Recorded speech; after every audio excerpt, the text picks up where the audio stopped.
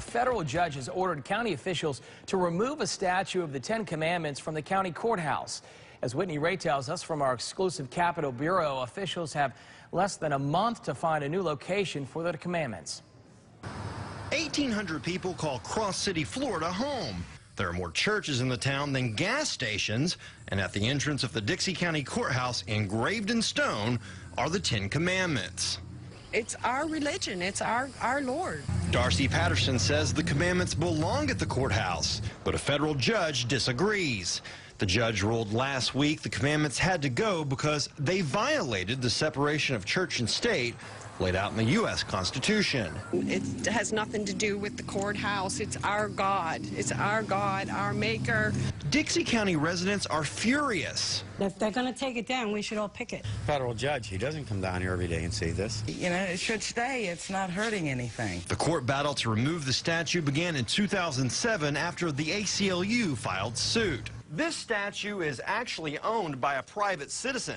That's the case Dixie County made in court. They also put up a plaque saying the views and opinions expressed in this area aren't necessarily the views of the county, but it wasn't enough to appease the judge. Now county officials have until August 14th to get rid of the statue. Lifelong Dixie County residents Richard and Sissy Elton are sad to see it go. If people don't want to, to look at it, they don't want to see it there, turn the head, don't look at it. Come in the back door. Yeah, come in the back door. Residents are asking the owner to place the commandments on private property as close to the courthouse as possible. In Dixie County, Whitney Ray, WPTV News Channel 5. Well, a massive Ten Commandments monument that has been outside a Pennsylvania public school for 60 years is now being removed. The reason, one complaint from an atheist mother who filed a federal lawsuit. Fox News radio host Todd Starnes is live for us in D.C. with his take on the controversy in his one-minute commentary. Good morning, Todd. Well, good morning, guys. Yeah, the Ten Commandments is getting the heave-ho from a high school near Pittsburgh. The New Kensington Arnold School District has 30 days to remove the giant monument from the front lawn of Valley High School. It's all part of the settlement in a federal lawsuit filed by an aggrieved atheist. She tells the local newspaper the monument was a violation of the Constitution. She also said the commandments were offensive. And a bronze plaque with the Ten Commandments is no longer on view at the St. Louis County Courthouse in Hibbing. Property Management removed the plaque at the direction of county administration on Monday. A county spokeswoman says officials consulted with the county attorney's office, which recommended removing the Ten Commandments based on past court decisions. The Wisconsin based Freedom from Religion Foundation raised questions about the plaque, which had hung at the courthouse for decades. I am Dwayne Etienne reporting for RJBroadcasting.com. Writers at the Christian Post are very upset that a federal judge appointed by Ronald Reagan ruled in favor of Wiccans in a case involving the display of the Ten Commandments at the City Hall of Bloomfield, New Mexico. Now, Wiccans Jane Felix and Buford Coone of the Order of the Cauldron of the Sage felt offended by the monument contacted the ACLU and asked them to have it removed. Now, Wiccans, don't call them witches. They're Wiccans, okay? They get very upset when you call them witches.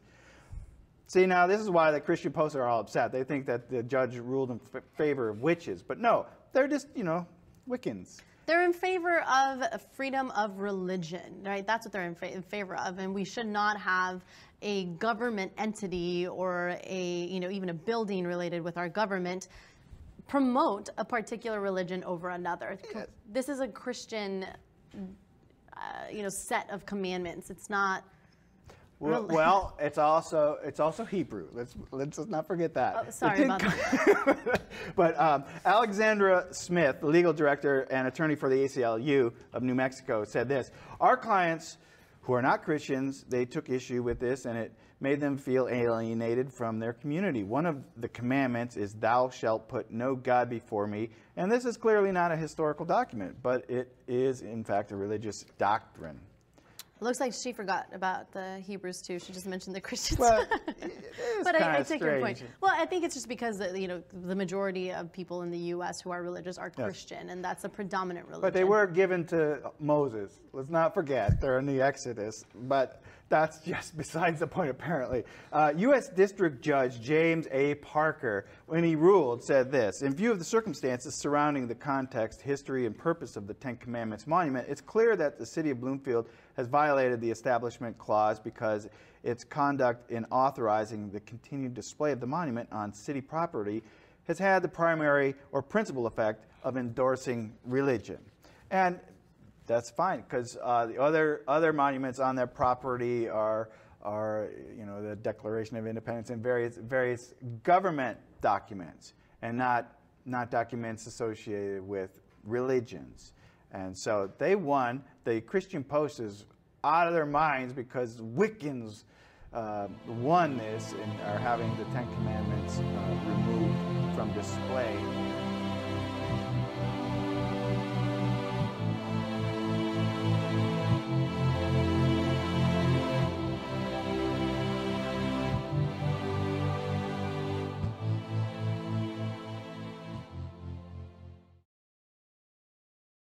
All right, for real, we're going to get started. It is clear to me that everything that we see happening in this nation right now, and actually it's been building for some time, can be defined in no other way than we are in all out war. There is all out war. Darkness is creeping over this land, and it is gone to rise up against the light. It wants to remove the light. We, we, we have chaos and lawlessness coming out with a vengeance to come against the law of God. This is what is happening right now. And I'm thinking, I'm, you know, I'm just reminded of Paul's words to the Ephesians. He says, We wrestle not against flesh and blood, but against principalities and powers and spiritual hosts of wickedness and the rulers of darkness of this evil age. We are literally in the throes of war right now.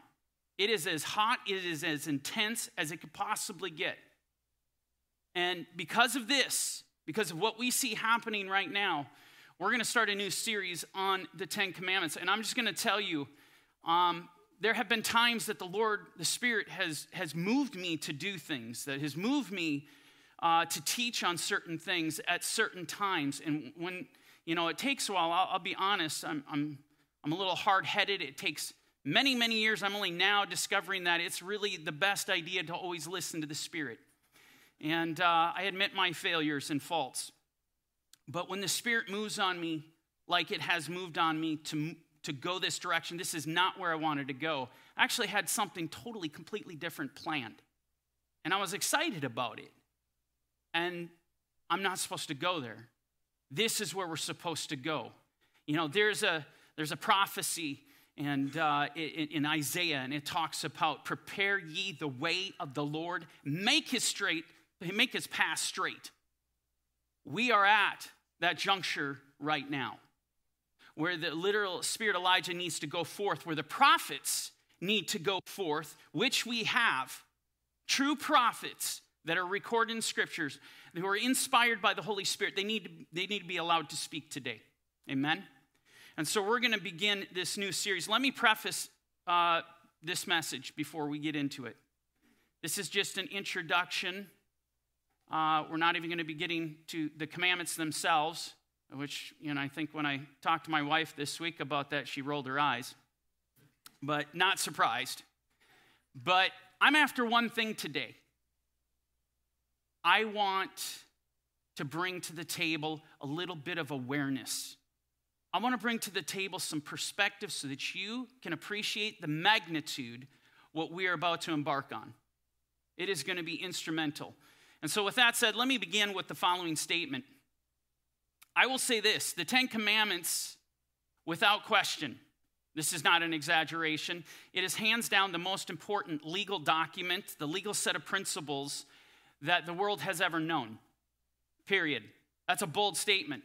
There's no other document in history that has accomplished and done what she has done. There's no other uh, there's no accomplished document that has so well influenced men and whether you're talking cities and states and countries for the greater good. Nothing has had the impact that this document has had. And that's really something. And, and, I think of Proverbs 14, right? So in Proverbs 14, we're told that righteousness exalts a nation, but sin is a reproach to any people. Righteousness exalts. Mean, what does that mean? It means when a people, when a society, when a state, when a country embraces righteousness, when they exalt her, when they promote righteousness amongst them, what happens? Blessing.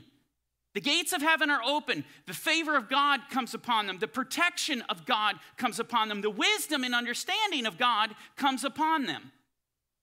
And it's interesting, you just take it a step further. What is righteousness? If righteousness exalts in it, what is righteousness? And we're told in Scripture, Psalm 119, 172, all your commandments are righteousness.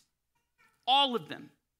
Your commandments are righteousness. And when you have peoples and societies, you have nations, you have fathers, you have mothers in their own homes, grab hold of the commandments the Lord will raise you up. The Lord will honor you. The Lord will bless you for that. Amen? That's a, that's a reality. You know, a perfect example of what I'm talking about is America. You know, I look at America, we are the greatest nation that's considered by some, and we've, you know, I've shown you this. Some have uh, espoused it to be the greatest nation that's ever existed. Now, we know obviously Israel is, but the military might, the power, the pomp, the sheer blessing, the riches surpasses that of Rome. It's an incredible thought. How did we get here? See, I will tell you, it is because, believe it or not, we were once a nation that valued, that cherished, that honored, that favored, that exalted, that promoted the Ten Commandments. We were. I want to start today by giving you a little bit of evidence to that. And I want to open up with a gentleman by the name of Noah Webster, and a prolific author, political writer. He's considered the, the, the father of American uh, scholarship and education. I mean, a scholar's scholar. Now, this has taken us back to the 1700s. This guy was alive during the Revolution.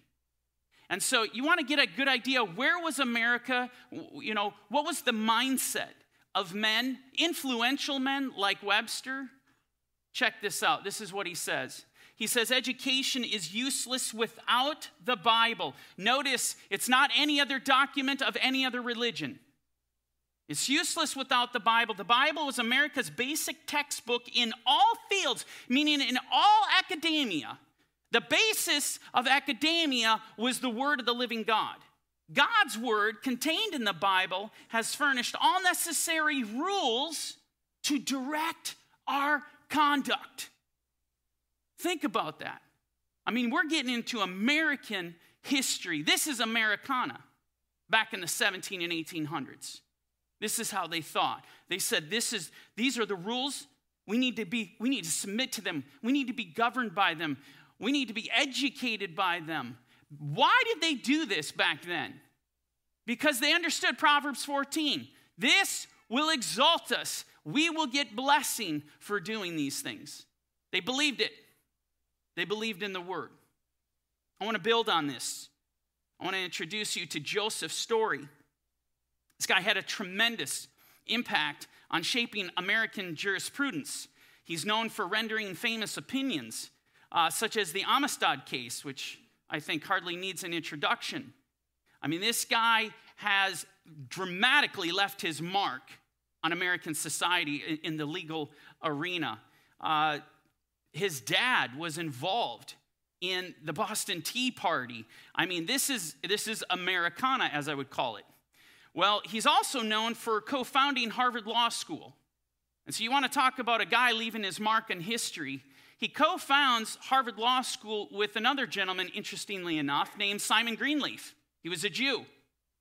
And Simon Greenleaf, a fascinating story. I mean, and I'm going to just say this. Man, you start peering back into history, you start looking at all these guys that helped shape and develop this country, their stories are mind blowing. Simon Greenleaf's story was as such as that he was a skeptic of the resurrection of Jesus. Not, not uncommon amongst Jewish people, right? He was a skeptic.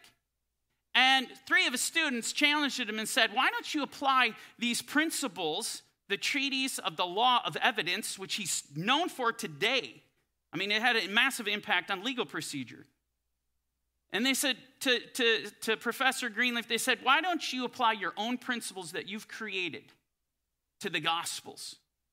And what Simon Greenleaf do? He does it, and what ends up happening, long story short, he ends up confessing the resurrection is legitimate.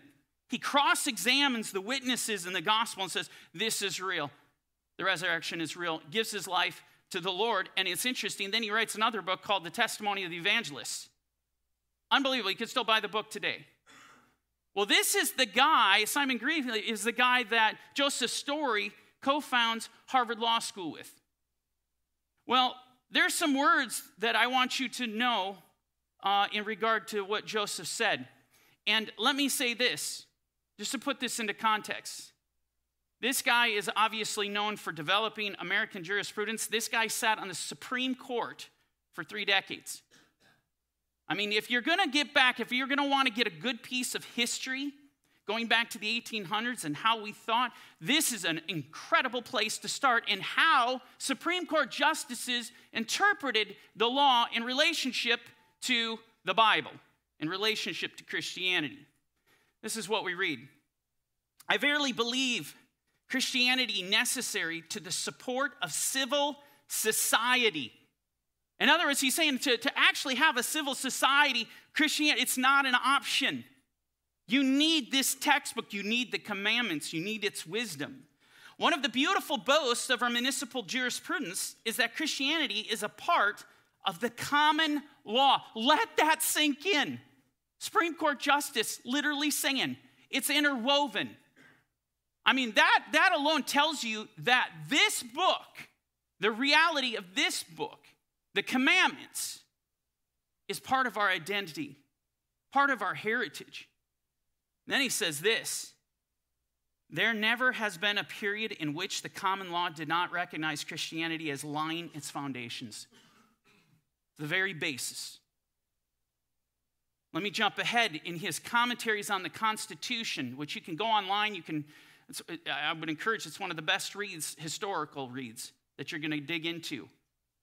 He says this In fact, every American colony from its foundation down to the Revolution, every American colony, foundation down to the Revolution, with the exception of Rhode Island, if indeed that state being an exception, did openly, by the whole course of its laws and institutions, support and sustain in some form the Christian religion.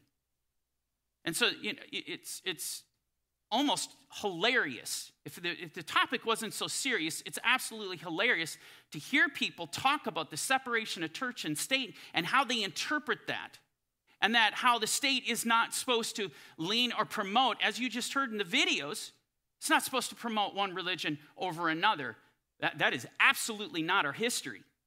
Not at all. Because we just read, and support and sustain in some form the Christian religion, no other religions.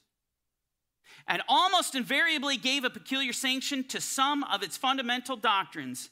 And this has continued to be the case in some of the states down to the present period without the slightest suspicion that it was against the principles of public law or Republican liberty. In other words, what he's saying is, is Christianity is not the antithesis to liberty and freedom, it's the source.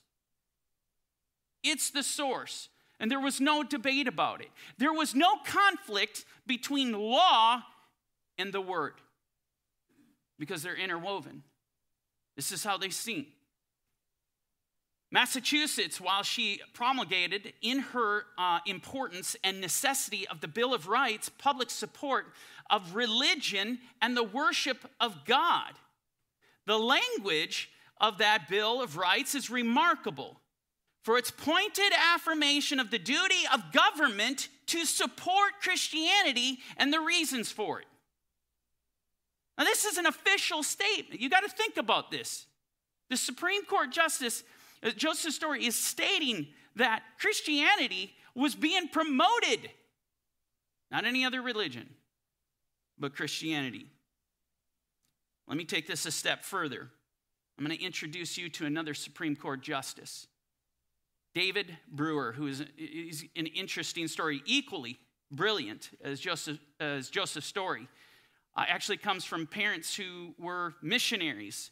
He was, wasn't even born in the United States. He was born in Smyrna, the actual Smyrna that's mentioned in the book of Revelation, right? The second church of the seven churches mentioned.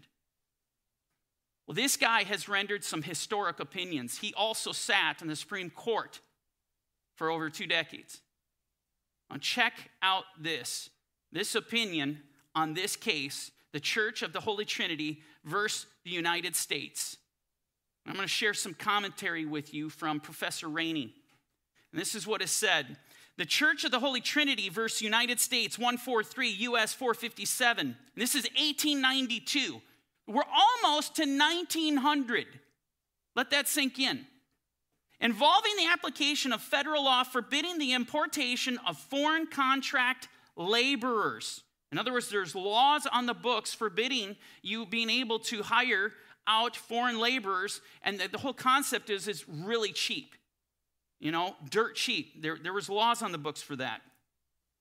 Is notable for Justice David Brewer declaring that the United States is a Christian nation.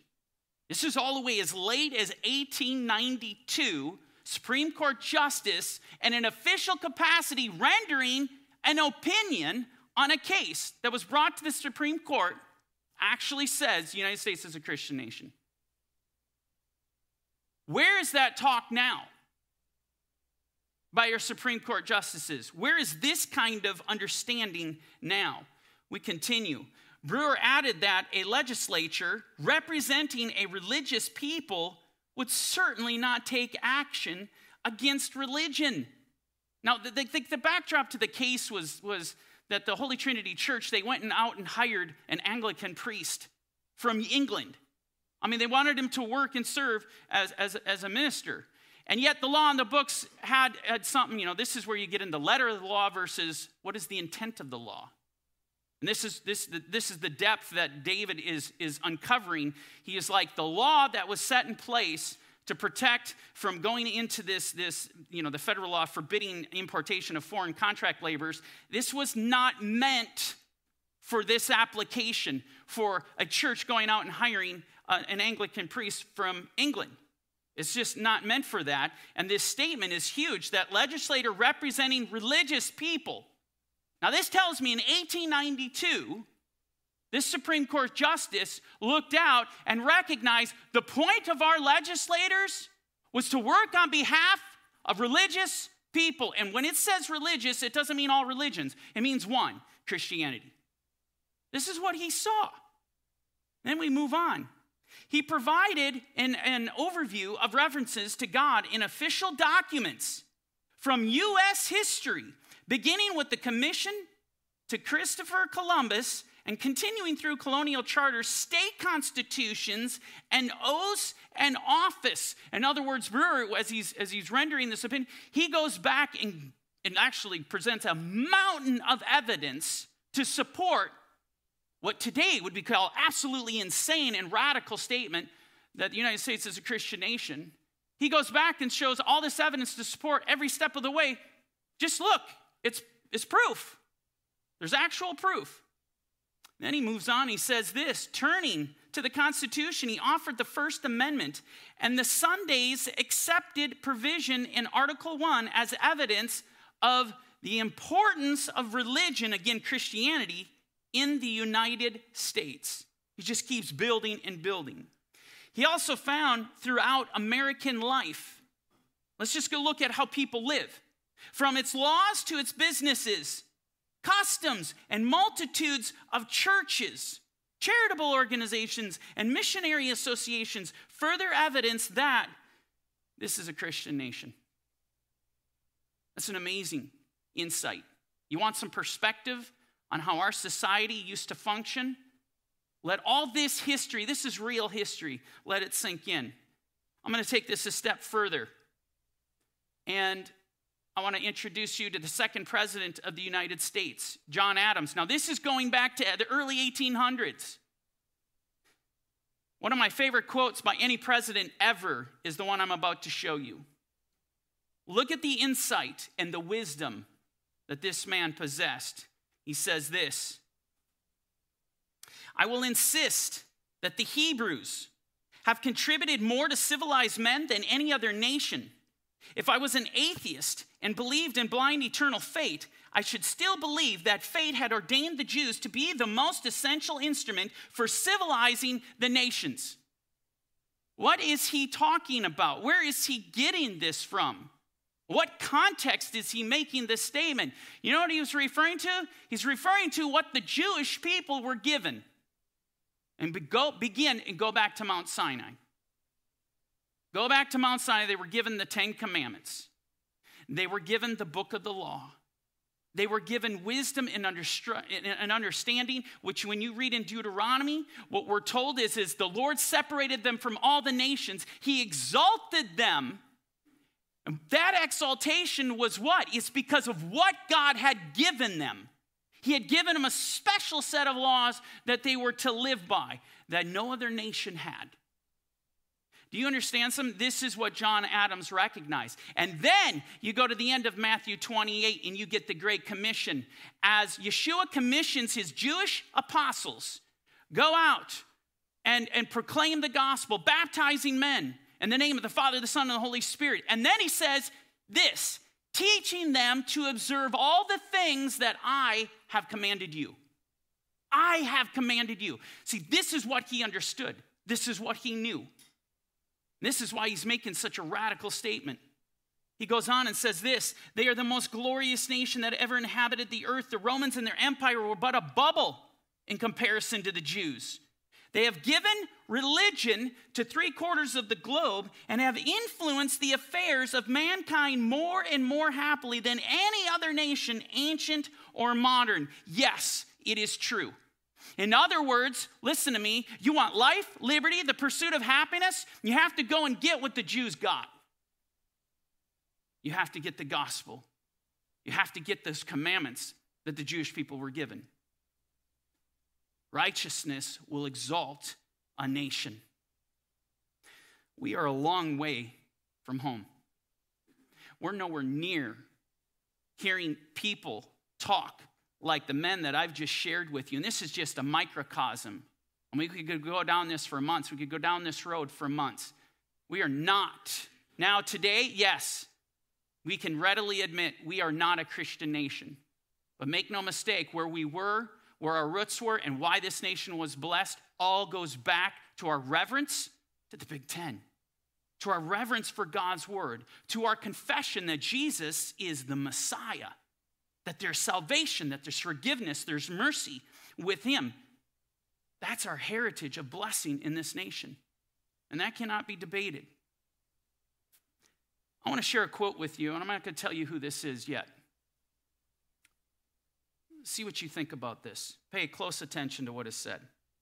The day will come when I shall hold up against these Ten Commandments the tables of a new law, and history will recognize our movement as the great battle for humanity's liberation, meaning we're being oppressed, a liberation from the curse of Mount Sinai.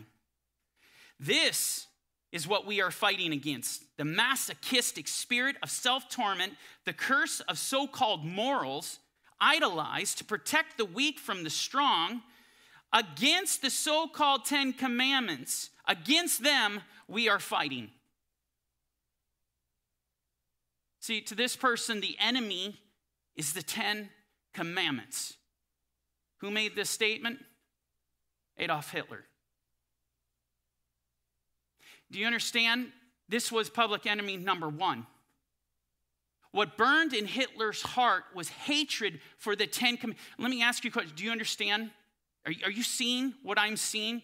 Do you understand the power that is in the Ten Commandments? The threat? That, that poses to the kingdom of Satan, to the spirit of Antichrist? Understand it. He recognized there is a great power.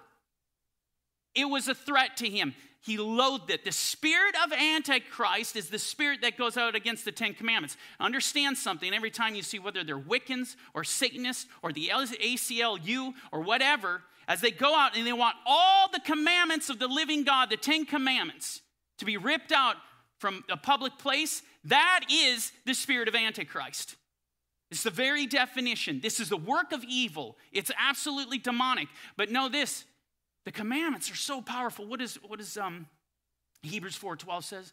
Your word, the word of God is living and powerful, sharper than any two-edged sword, piercing the division of soul and spirit, joints and marrow. It is a discerner. This is a discerner of the thoughts and intents of your heart. It prepares you for war. It protects you against deception.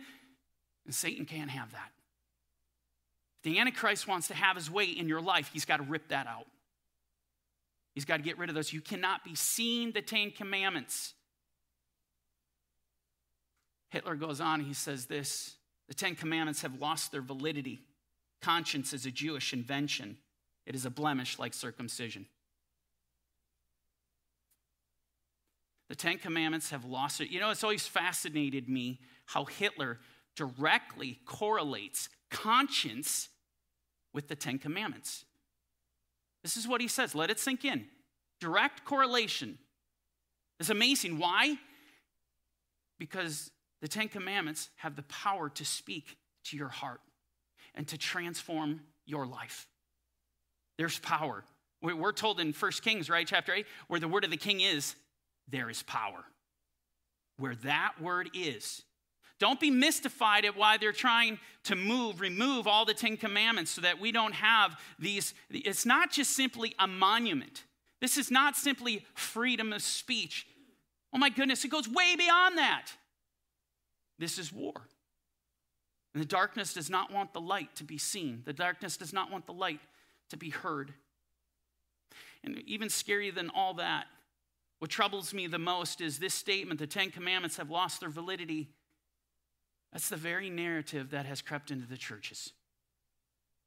You can't I, think about it.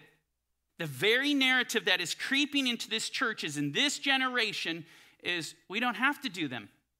We don't have to keep the commandments. Let me, let me share with you a few screenshots that uh, these are Christians, mind you. And the question here of the first one is which of the Ten Commandments are outdated? Okay. The answer all Ten Commandments became outdated when Jesus gave us the two greater commandments. And when he died on the cross, this is because there is no longer any atonement for the transgression of the ten. This stopped when the animal sacrifices were ended. Jesus became the atonement for the two that he gave us, which fulfills all the law and the prophets. See, the Ten Commandments have lost their validity. Now, this is mind blowing. This is, it's, it's honestly mental gymnastics that I got to play just to understand what he's trying to convey. But essentially, what he's conveying this so that you understand what he's saying.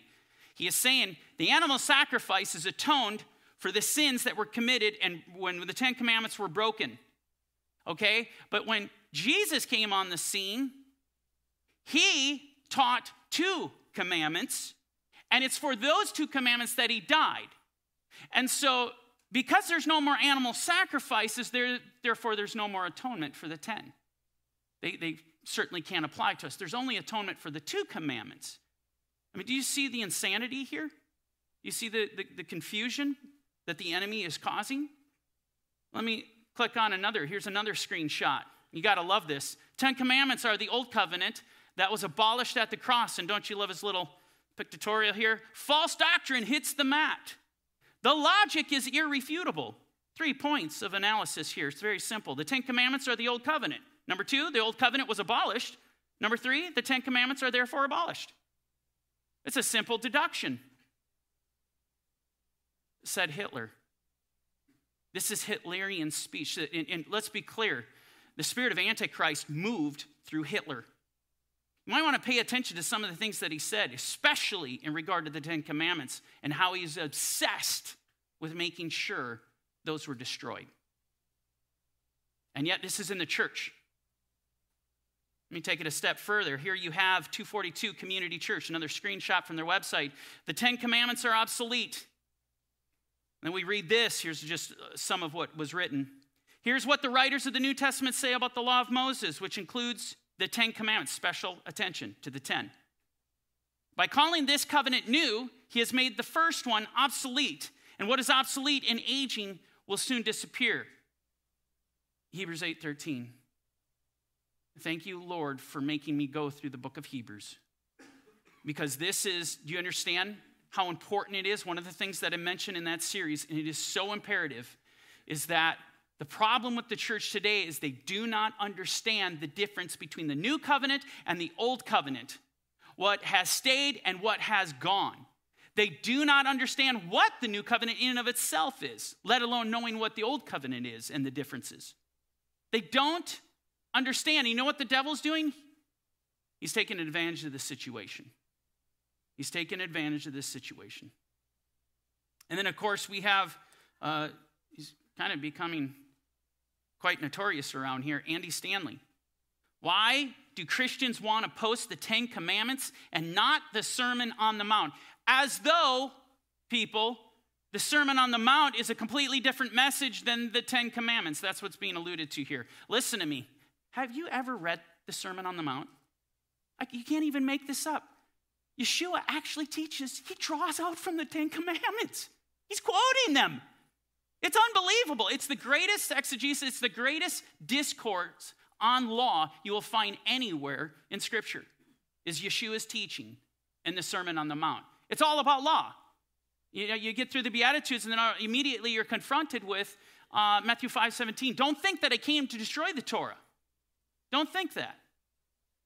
And then he goes all the way through Matthew 7 after talking about the commandments and what they really mean. Then he goes to Matthew 7 and, you know, you got a bunch of believers in Matthew chapter 7 thinking they're getting in. Lord, Lord, open to us.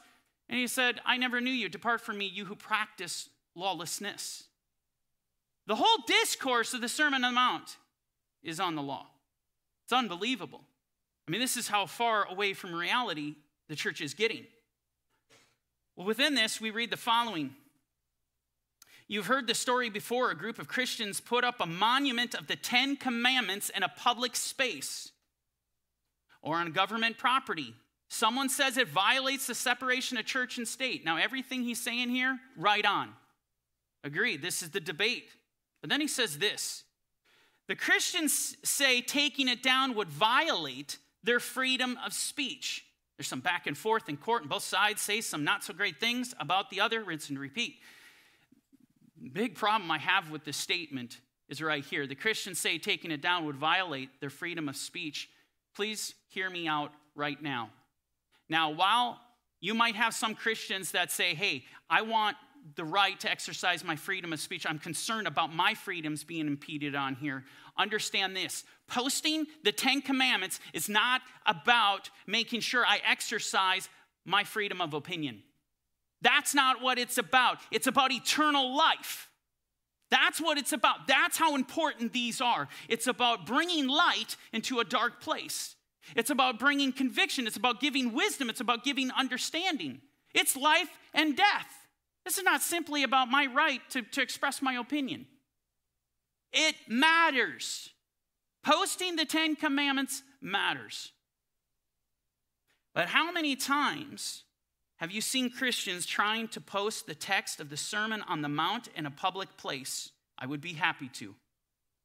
On the all encompassing or the all encompassing commandment, uh, commandment Yeshua gave us, a new commandment I give you Love one another as I have loved you, so you must love one another.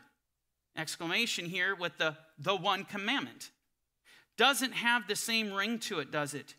But if we're going to create a monument to stand as a testament to our faith, shouldn't it at least be a monument of something that actually applies to us? See, he's coming out and saying it doesn't apply to Christians. The Ten Commandments. And again, I remind you of Hitler's words. The Ten Commandments have lost their validity. Moving on, the Ten Commandments are from the Old Covenant. He's going to give us this reasoning. The Ten Commandments played a significant role in God's creation of the nation of Israel. Agreed. It gave them moral guidelines and helped separate this new nation from their neighbors. Agreed. This part of the formal agreement or covenant God created with his people but Yeshua's death and resurrection signaled the end of that covenant and all the rules and regulations associated with it. Yeshua issued his new commandment as a replacement for everything in the existing list, including the Big Ten. You understand? This is, this is where we're at. This is the narrative that is not just being peddled by the ACLU or being peddled by Satanists. This is a narrative that's being peddled by the church, saying the exact same thing Hitler once said. I want to build on this. We're going to go global. I want to take you to China. And the headline reads as follows Xi Jinping quotes replace the Ten Commandments in churches.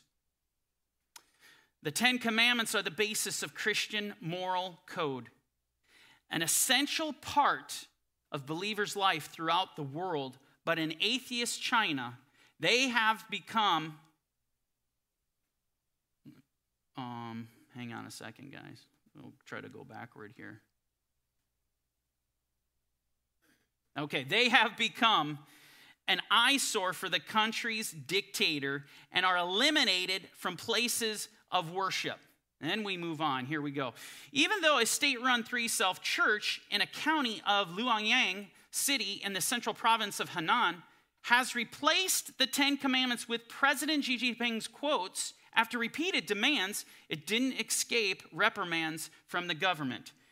The party must be obeyed in every respect. The Chinese Communist Party is what it's referring to. You have to do whatever the party tells you to do. If you contradict, your church will be shut down immediately, according to a believer who asked to remain anonymous. Against the will of believers, the Ten Commandments has been removed from nearly every three self church and meeting venue in the country and replaced with quotations from Xi Jinping. We're starting to see whether it's Hitler going after the Ten Commandments, communism goes after the Ten Commandments. We're seeing this broken record play over and over again. The Ten Commandments are a threat. You think about Satan when he, when he was in the Garden of Eden, went to deceive Eve. What did he go after? The commandment. Did God really say? God spoke. God spoke the commandments to Adam and Eve. And Satan comes in and calls into question Did God really say? And what does Satan want? What is the goal? The goal is don't listen to his word, slide that aside, receive my words. What is President Xi Jinping doing? Move the voice of God aside, move the commandments of God aside, and you will listen to my words. This is the devil in the making. Like excerpts from his speech at a Central United Front Work Department working meeting on May 18, 2015, the core socialist values in Chinese culture will help to immerse, and this is a quote from Xi Jinping. So, this is what you're seeing now that he wants in the churches. The culture will help to immerse various religions of China, support religious community in interpreting religious thought, doctrines, and teachings in a way that confirm with the needs of the progress of the times. In other words, guess what? Oh, oh, oh church, oh, blessed church amongst uh, the Chinese people, know this. You know what? We're going to immerse your churches in communism. We're going to help you so that you can keep up with the times, so that we can make sure that your churches are doing what is best for all mankind, for humanity. What's best? This is the mindset. And don't think for one second we're not even seeing this mindset right here in our own country today. This is the mindset we are seeing. The believer also revealed that some three self churches had been shut down for not implementing the government's demand to replace the Ten Commandments with the president's quote. Because it's really simple you will do what we say, or we're coming after you. We will shut you down. It's amazing. I just think of over the last year and a half, right? Uh, in regard to COVID. We're shutting you down. If you don't get shut down, we're going to make you pay. I mean, how many churches got fined for keeping their doors open? I mean, you can't even make that up, right? Massive fines in the hundreds of thousands because they would not stop meeting to give Yeshua glory. That was unacceptable. It's unacceptable in communist ideology. Some congregations have been threatened to be blacklisted by the government, meaning that their travels will be restricted. And schooling and future employment of their offspring will be impeded if they refuse to overhaul their churches according to the current national policies. In other words, if you don't let that devil in to your church and you rip the holy word of God down from your walls, your kids are going to pay. We will see to it. Now, you think about that. We are not ignorant of Satan's devices. Are you guys ready to stand? Are you guys ready to cling to the commandments of God at all costs? Will you hold the line when this pressure comes down on you? This is a reality. Where are we? Okay. The government's first step is to prohibit religious couplets and all these, you know, you can't have any religious literature flittering about with hope and encouragement and the ways of wisdom. Can't have any of that. Then it dismantles crosses, so any symbol that would take you back to the Bible or even would make people think about Jesus is unacceptable. And starts to implement the four requirements by ordering the national flag and the core socialist values to be placed in churches. Surveillance cameras to monitor believers and religious activities are then installed. I'm really excited about that. The last step is to replace the Ten Commandments, the crescendo. The last step is to replace the Ten Commandments with Xi Jinping's speeches. The preacher gave his analysis of the situation in three self churches. Listen to this. The Communist Party's ultimate goal is to become God. And there it is. Listen to me. This activity that you see to eradicate the word of God, which is his voice, it is the power of God, is the enemy coming in to take the throne, to be worshiped. He wants worship. The communists want to be God. There's no debate on that. Let me share with you uh, a not too recent headline this is a screenshot. YouTube blocks PragerU 10 Commandments videos, restricts to mature audiences. Listen to this. YouTube is restricting access to PragerU's videos on the 10 Commandments, labeling it as mature content that's inappropriate for sensitive audiences.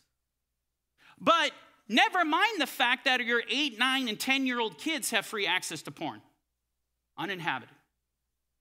Never mind that. We're, we're worried about this. Do you guys understand the Ten Commandments? Uh, the enemy is hovering over. This is the target.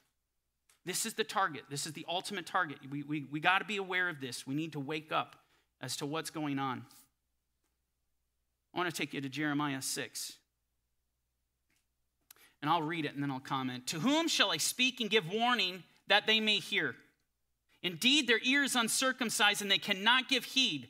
Behold, the word of the Lord is a reproach to them. They have no delight in it. And you look at our nation, what's happening right now, they have no delight. It's offensive just to see a monument of the Ten Commandments anywhere is repulsive to the inhabitants of this country right now. You have guys literally driving cars into the monuments of Ten Commandments to take them out. That's the insanity of what we see. There's so much hatred.